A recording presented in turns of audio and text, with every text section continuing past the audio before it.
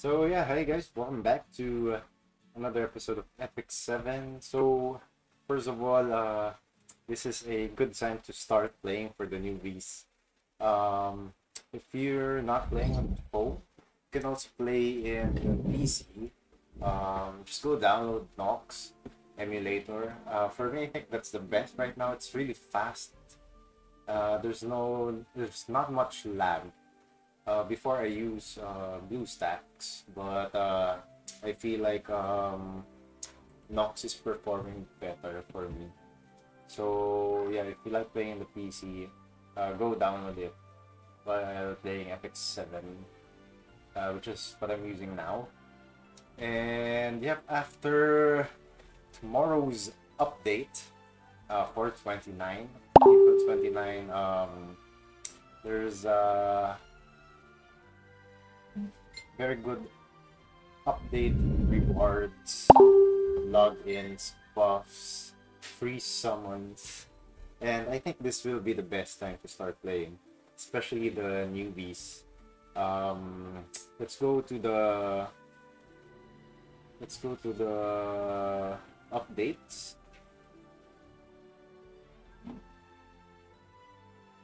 So yeah, here is one of the updates. There's a free check-in event for seven days, and in the last one, you will get a free five-star hero summon ticket. So automatic five-star hero. So this will be good for new players. This will be on top of the Covenant summons. And all you have to do is just log in, and other rewards are really good also. This will help you start the game. Have free energy bonus, of course, for the attendance. Continuous check-ins. And then we also have three Covenant summons here. Uh, this is for seven days also. Yep, here. 10 free Covenant summons for seven days. So that's a total of 70 summons. That's a lot of free summons actually. And you can pray for an ML hero here. Hopefully. Even if it's uh, a little chance, very little chance. But you can pray and hope. Or you can just keep on re-rolling if you want. So this is very good for new players as well. And then last but not the least, I think that's important here is the buffs. So for the new players, I think most of these are not yet what you're doing because these are mostly for the uh, end game players or those in the middle part of the story already.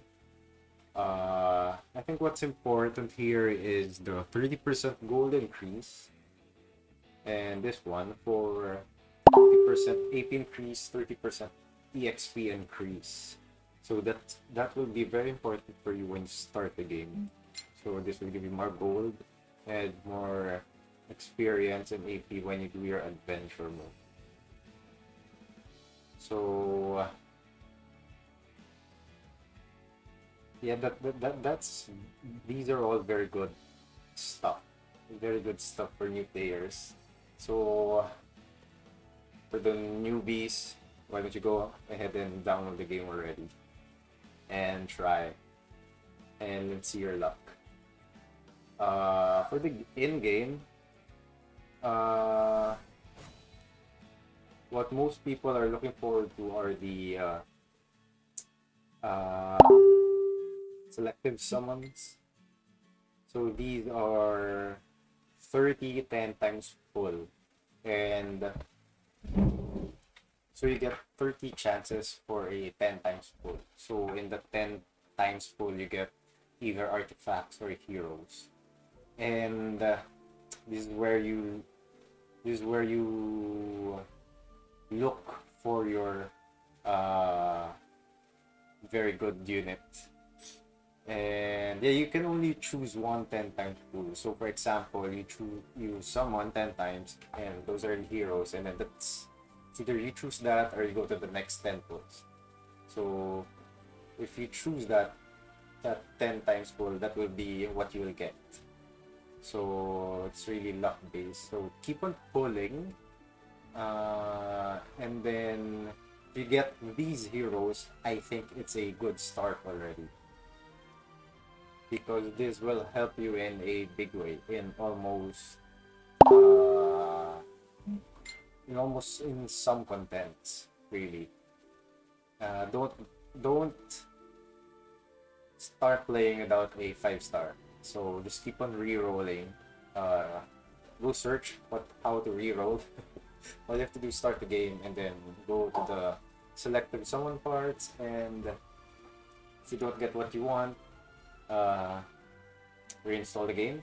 I'm not sure how you do it now, but you can do it again. Reinstall the game and uh, go to the selective summons again. So these are a these are the Muspels. Actually, this oh, this hero is the Muspel for for selective summons. Uh, this is Sigret. Uh, so Sigret will be very good with your Wyvern Hunt. Uh, Wyvern Hunt is where Hunt is where you get most of your equipment, and she is a Wyvern killer. And with Wyvern, you get uh, you get uh, two of the best sets, I guess, for DPS and also for other heroes mostly. The speed set and the crit crit uh, chance set. Well, people also like using hit, but really the more more important one is the speed set because uh, speed is really an important uh, stat in this game. And if you get tired of pulling, uh, I mean re-rolling, um, you can choose also Vildred.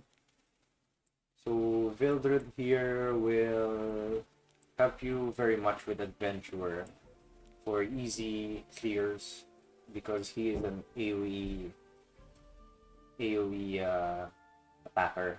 So the mobs, mobs Dota. So the mobs, the the stages will be easier to clear with his skill set. And last, I think is also a good choice is Ravi. I think Ravi is part with selective summon. I'm not sure, but I think he is. Uh, Ravi can actually tank and attack, so Adventure might be much slower, but he can do it all. She can do it all. I mean, uh, you can bring her and then three fodders. So that would be very helpful. And right now she's very good in PvP with her skill set.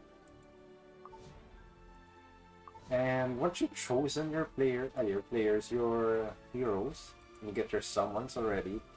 Um, I think the first priority, uh, first priority is finishing adventure mode because you get all the uh, early good stuff here. So this is this is the entire map, and you will start with Ritania here, and you start with, from one, and just go follow and clear everything. The story. This is where the story is also. Um, you get a lot of good stuff here. Uh, per region, there's rewards here, gold, sky stones. Um, there's also this apex change You'll need this for leveling, leveling up your, I mean, awakening your character. And with the buffs, with the experience buff and double AP, um, finishing adventure will be good. So yeah, go through the game. It's it's a nice uh, nice story as well. So priority is adventure. You'll be you'll be um uh panicking with a lot of things to do, but don't worry because you're not an endgame player yet. Uh, so focus on adventure mode.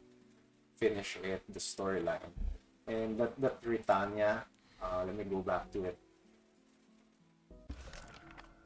The Ritania here is the easier easier uh, part and it gets harder when you go to Sidonia and Eureka. So right now we're in Eureka, the storyline.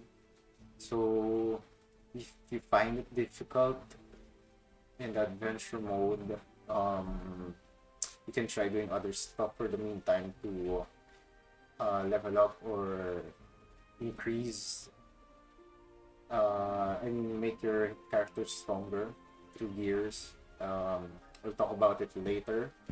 For it to get good gears, I mean good uh, new gears for your newbie players. So and then there will also be an adventurer's path here. They give all kinds of free cards.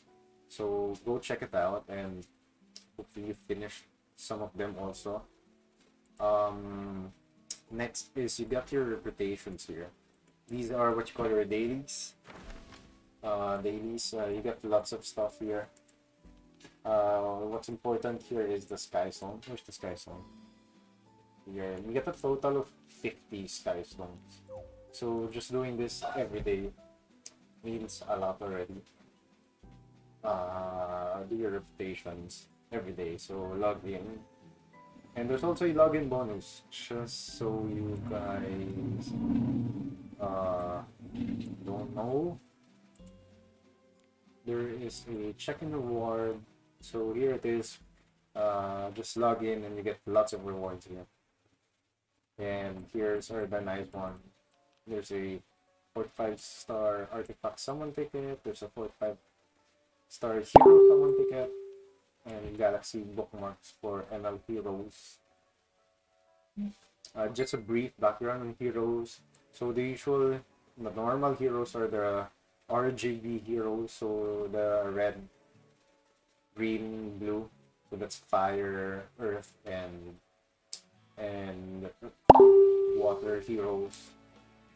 And I, I think they will be explaining that in the story mode. So yeah, and the ML are the light and dark heroes. These are the more uh, harder to get heroes, and usually the stronger ones. So hopefully you get you get an ML hero in your free summons. Uh, next maybe I mean uh, finishing adventure also just to add gives you breath of orbis. Uh, this is the sanctuary. They will explain it also. Uh, you you'll get good. You'll get some stuff here. Uh, three sky stones and gold after how many uh, how many uh, hours so you will need that for this sanctuary. I think it will also be explained there. Um, and don't forget to uh, level up your heroes in adventure mode. Bring fodders. Uh, you have to bring fodders. Uh, this is an example of mine. So this is a fodder. His dog. You'll usually see this, and you will use this to level up uh, the heroes uh, uh, stars. So right we got uh, three star, the lowest four star, and five star heroes. Uh, the five star the uh, better to get ones, and and these dogos have their own star as well. So we have uh, the black ones, they're four star. Uh, the yellow ones are three stars, and uh, I don't have a two star here. Uh, there. So these are two stars. So I think they will explain it also. I would love to explain it. Maybe more detail here. But uh, as a summary, you use these fodders to increase the stars of your heroes. So let's say you have a five star hero and you're gonna increase it to its max six stars. So the max is six stars. You'll be needing uh, five of these to uh, increase the stars. So you need like uh if the five star if a five star hero is five star so you'll need a five five star fodders or even heroes to increase their stars. Uh, maybe do we go have an example here.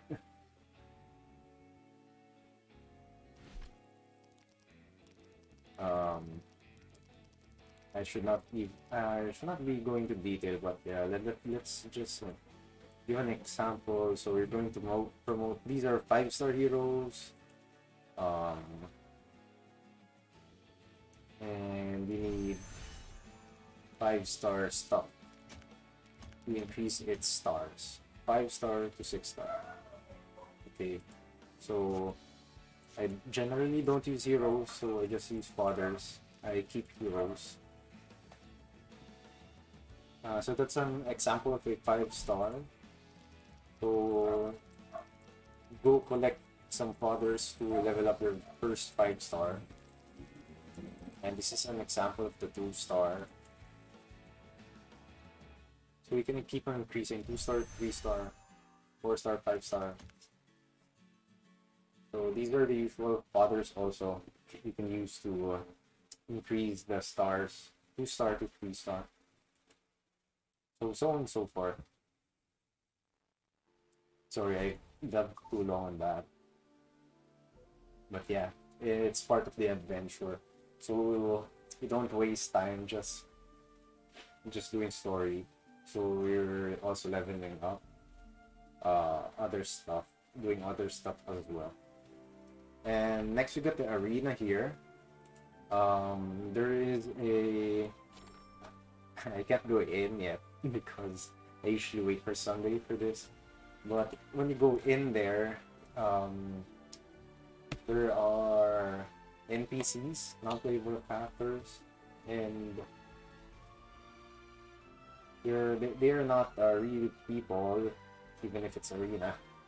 There's a different part of the where you fight the real uh, players, but these are NPCs, and you get uh, free gems there. So use this to attack and these things refresh every one hour. So if you can attack npcs go do it. It's free gems. You think it's a little but if you keep on doing it you you will just see how much gems you have. Um, and then don't mind the banners. So, the summons here. Use the summons. Don't don't mind it We have a visitor. you don't have to pull them right now. Don't don't use your covenant summons. Uh, you'll know if it's a meta breaking summon. I usually just go first as a new player for limited ones. And uh, in this coming June, we're gonna have a collaboration. Uh, no one knows it, but these are limited heroes, so I suggest you save your summons, your bookmarks, uh, your bookmarks here, wherever you get them. You just save them, as well as gems, because you'll need gems to buy covenant bookmarks. And you also have some special events where you can get uh, other stuff. If you need energy, you just go here, event, watch ads. Here, click this, watch ads, you get 20 energy. You can do it five times. Didn't. Oh, there. No more ads because I get energy from here. And then right now we also have this um, event here. Go click view, view a video, cheer, cheer a um, competitor. This is the tournament for Epic 7 World Champion Tournament. Cheer, you get uh, energy, and you can predict also who will win. Even if you don't know them, just predict because you get a. This is a summoning ticket for green for green units so that's free stuff and here we also have uh, Yuna's event so all you have to do is play play adventure mode 20 times and you get energy. These are 50 energy each. And then you get uh, random rewards here as well. And don't forget to click on the shoe. And additional rewards in bottom for bonus. But I think this is ending already in seven days. Uh, you can still get some rewards but and this will usually be replaced. Uh, and also we have a crafting event. Uh, crafting event uh, as I mentioned gear is everything in this game. So even if you have the hero you don't have the gear your hero sucks. So I already crafted mine um, I want to explain this but I'm, I'm uh, this is more on the gear side already. Um, my suggestion is to go for a speed speed set for the newbies. Go for speed set and for the main stat uh, go for crit damage necklace uh, with very good substats attack crit hit chance crit damage and health I think that's very balanced I went mindful immunity because because I didn't uh, I didn't have an immunity set with those stats. So you can get this as well. You can get one of one of the best gears there. So don't forget to go there. And as you're playing adventure mode, don't forget to add friends. you you'll be given option to add people. So just go add people. They will help you with your adventure mode. Uh, especially the strong ones. Go look for strong ones. And you can bring them as a support in adventure mode. Uh, I'll just do an example here.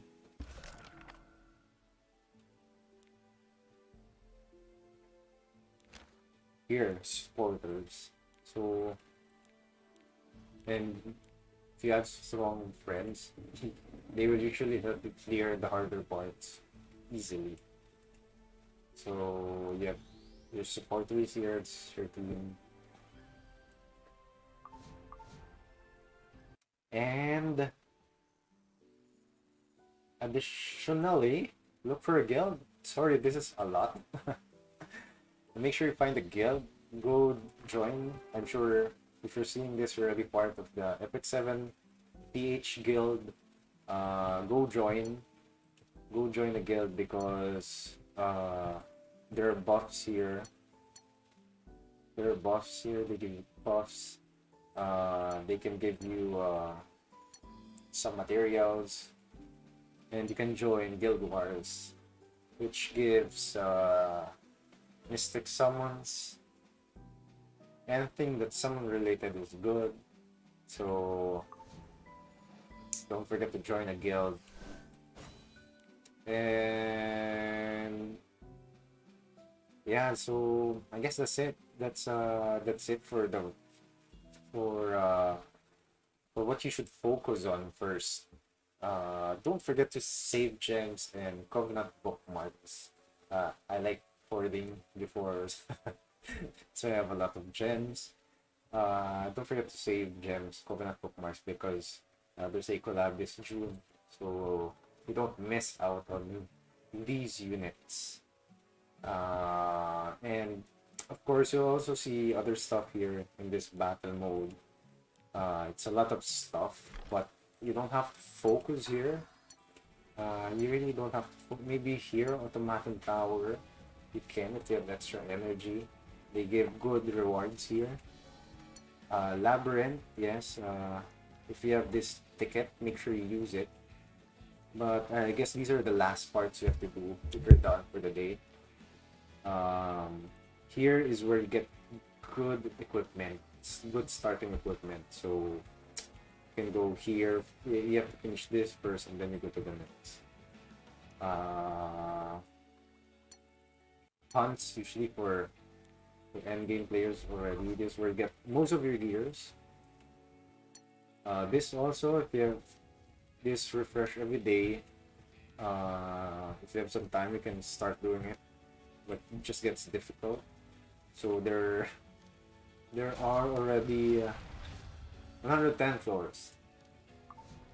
Uh, what's great here is you get a life steal uh, set here. That's a very good, very good also for newbie players. Spirit Altar for runes, for awakening, uh, for making your character stronger. And side story again, if you have extra energy, uh, go visit one. Uh, here you can, here you will just farm for currency and exchange it here. Stuff here are good actually. I buy everything and get some reputations here. This this is only do this if you have extra time. Uh, don't don't go here first. Uh, maybe I think the most important here you can go to is maybe labyrinth for the gears and automaton tower. But the rest, uh, you don't have to focus on really. Uh, so just focus on adventure mode. Uh, level up, level up and finish the story, and you get good stuff from there. Uh, yep, and hopefully the the event, the main event that will be happening tomorrow, will provide you a lot of good stuff, someone's rewards, which will help you in your journey to uh, playing this wonderful game, Epic 7. uh, so yeah, I hope this helped. I hope it did. So I've been just blabbering here. So for newbie players, uh, go try out this game. It's a very good game, and I hope they they continue uh, giving us uh, updates and uh, a good fun time. More rewards, hopefully. So yeah, thank you guys for watching and hope this helps again and I will see you in the next video.